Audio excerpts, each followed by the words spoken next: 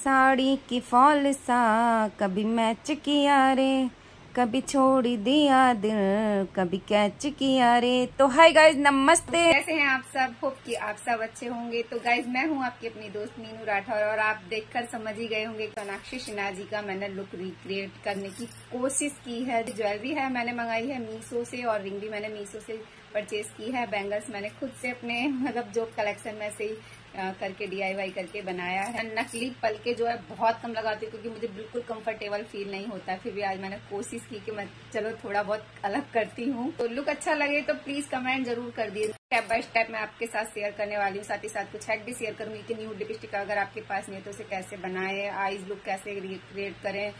तो वीडियो में बने रहेगा एंड तक चैनल पर न्यू सब्सक्राइब कर लेना। वीडियो अच्छी लगे एंड मैं एक लाइक ज़रूर करते हुए जाना। जितने भी प्रोडक्ट मैंने यूज़ करे साथ के साथ उनको मेंशन करती जाऊँगी।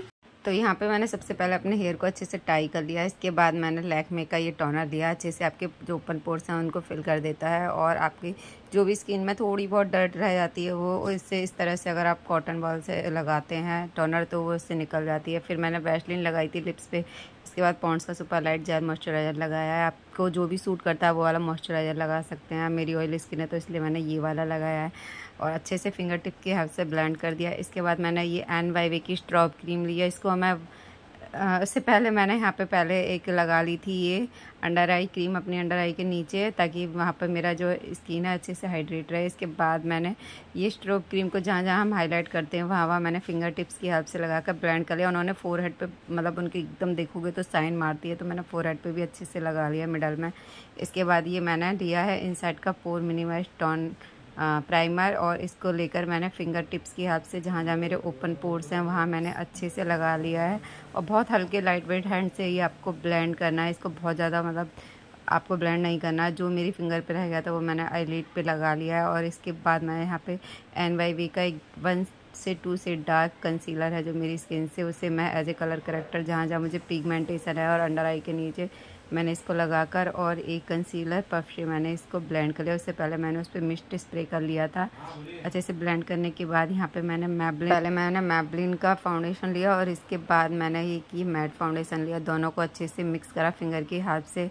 तो आप थोड़ा सा प्रोडक्ट इस तरह से बहुत ज़्यादा हो जाता है। अगर आप उसे फिंगर की हेल्प से अच्छे से कर लेते हैं मैच तो इसके बाद मैंने एक फाउंडेशन ब्रश की हेल्प से इसे पहले ऑल ओवर फेस पे नेक पे अप्लाई किया और इसे मैंने फिर ब्रश की हेल्प से एक फाउंडेशन ब्रश की हेल्प से अच्छे से ब्लेंड कर लिया। उसके बाद नेक पे भी इसे अप्लाई किया।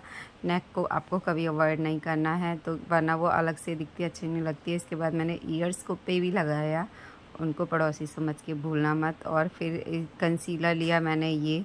इन साइड का एच डी कंसीलर और इसको इनर कॉर्नर की साइड, और जहाँ जहाँ मुझे हाईलाइट करना था, वहाँ वहाँ मैंने इसको लगा लिया है। छोटे वाले कंसीलर ब्रश पर मैंने थोड़ा सा मिस्ट स्प्रे किया और इसको भी ब्लेंड कर लिया है।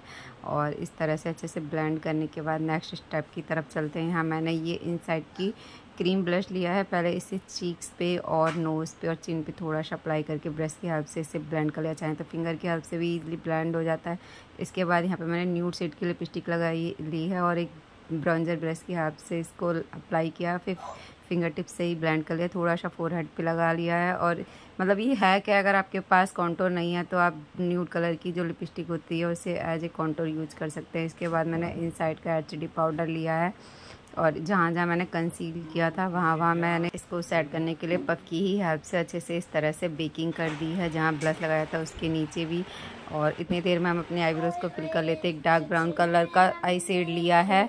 और इसे मैंने इस पूली ब्रश की हेल्प से पहले कॉम किया था, फिर एंगलर ब्रश की हेल्प से प्रोडक्ट लेकर अप्लाई कर लिया था। जो आपकी नेचुरल आईब्रोज है सिर्फ़ वहीं पे लगाना ओवर मत लगा लेना, वरना वो बहुत फेक लगती है।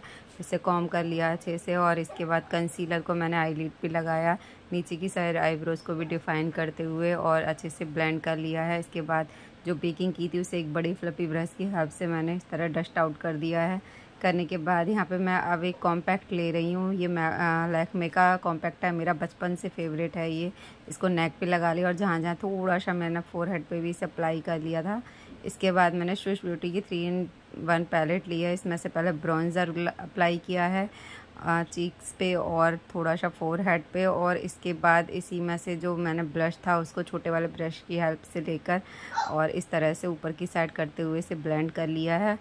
और करने के बाद यहाँ पे अब लग रहा है ज़्यादा हो जा रहा है तो अब जो फाउंडेशन ब्रश से आपने जो फाउंडेशन को ब्लेंड किया था, उसे एक बार घुमा दीजिए तो वो लाइट हो जाता है।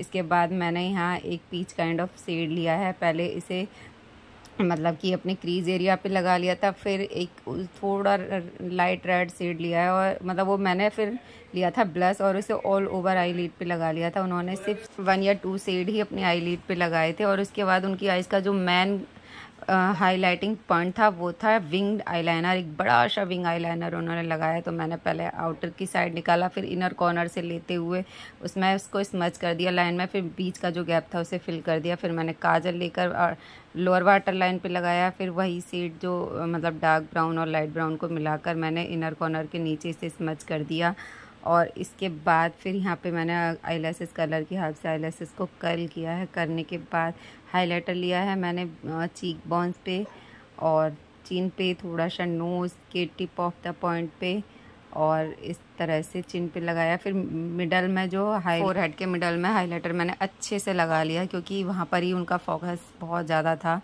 और इसके बाद फिंगर की हेल्प से मैंने आईब्रोज़ को इस तरह डिफ़ाइन कर दिया है हाइलाइटर से और इसके बाद मैंने ये यहाँ पे सेट मेकअप फिक्सर लेकर अच्छे से स्प्रे कर दिया थोड़ी दूर से और इसको एयर ड्राई होने दीजिए। इसके बाद मैंने रेड कलर की एक बड़ी सी बिंदी लगा ली है।